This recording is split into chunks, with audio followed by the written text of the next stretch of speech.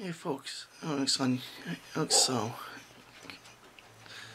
I just had, had, had an epiphany about when I used to work at the printing place and you know just I, I worked there for a few years but but they just yeah I was doing a wide format printer operating and then for well the last couple of Christmas parties I went into for the company was was when they he did did the the kind of gambling the games and all that so.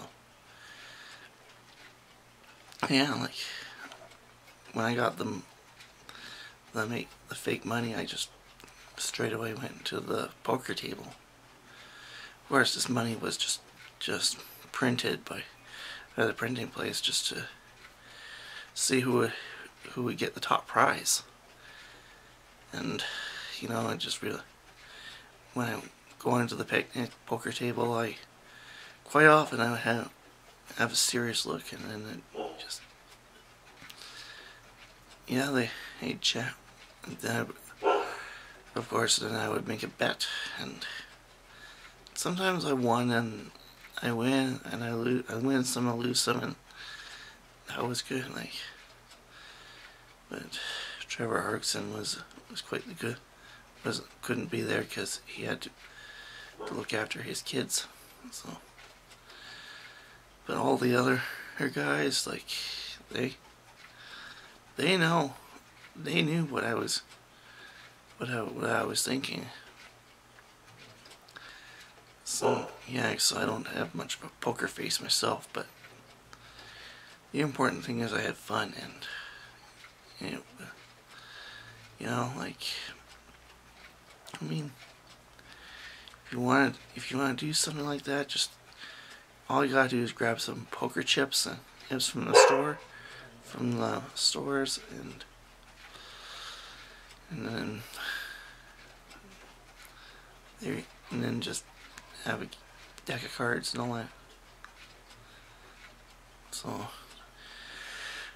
so tonight I'm going to a hockey game so, but because it's Swift Current Broncos are are are in town, which is my hometown team. So, and of course tonight it's uh they're doing they're giving a bobblehead to the first fifteen hundred fans, and to go go to the rink.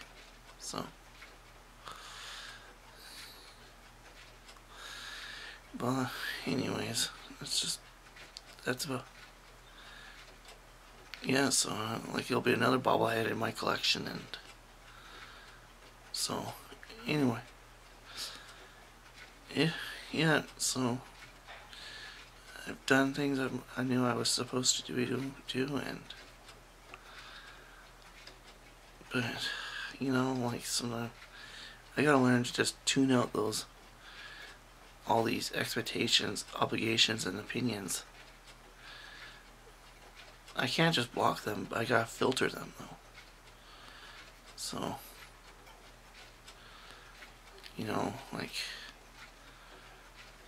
I mean, when you think about it, people around you have clamor with these opinions, expectations, and obligations, and it really, it, sometimes they don't line up with what your your values are.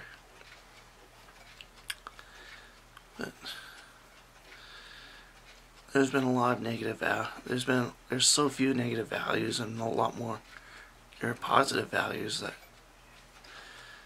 that we that we all have like that's where I gotta learn think about my about the three best choices and three and the three worst that I made yeah, they ate in my life and as to why I made them what what have I learned and how and how would I have done it differently? So that's just it's something I need to think about. I mean, there's a lot of things I wish I would have done differently, so that's basically I just gotta learn from them. Um, so yeah, just that's why I got the, the answers are buried within and those answers have the, the values like why did I choose this? What I've yes, like you know, like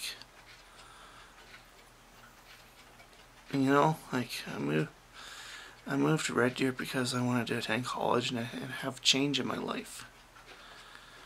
But one of my